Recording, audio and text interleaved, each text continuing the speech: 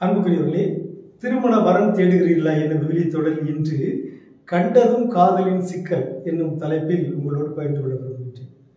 பொதுவாக ஒரு மணமகன் ஒரு மணமகளை பார்த்தவுடன் பிடித்து விடுகிறது.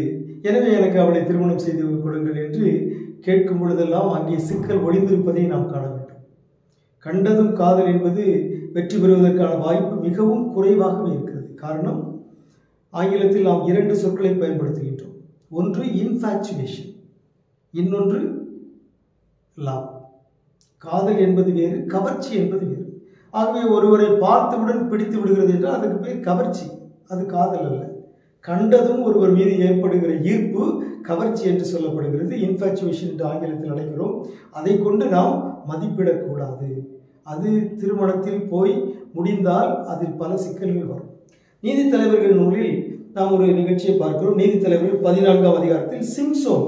நீதித்தலைவர் ஒருவரான சிம்சோன். ஒரு நாள் திமினா என்கிற ஊருக்கு செல்கிறார். அங்கே ஒரு இளம்பெண்ணை பார்க்கிறார். அவருடைய பெயர் கூட கொடுக்கப்படவில்லை. அந்த இளம்பெண்ணை பார்த்தவுடன் அவருக்கு பிடித்து விடுகிறது. பதினான்காம் அதிகாரம் இரண்டாவது இடைமொழி அவர் திரும்பிச் சென்று தம் தந்தையிடமும் தாயிடமும் நான் திமினாவில் ஒரு பெண்ணை கண்டேன்.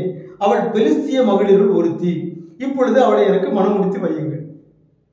அப்போ அவங்க சொல்கிறாங்க அவள் வேற்று இனத்தைச் சேர்ந்தவள் அவள் யூத பெண் அல்ல. யூதர் அல்லாத பெண். அவளை திருமணம் செய்யக்கூடாது. ஆனால் வந்து சிம்சோன் சொல்கிறார் தம் தந்தையிடம் அவளை எனக்கு மனமுடித்து வையும். ஏனெனில் அவளை எனக்கு பிடித்திருக்கிறது.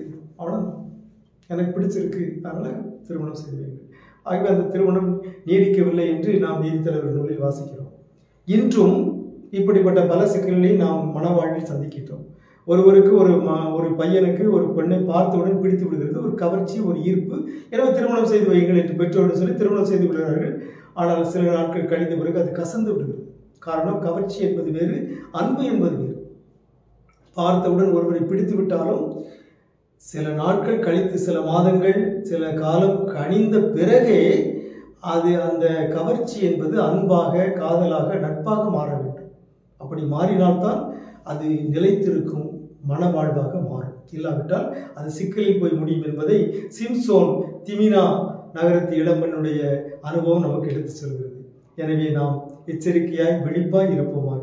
உங்களுக்கு அமைதி உரித்தாக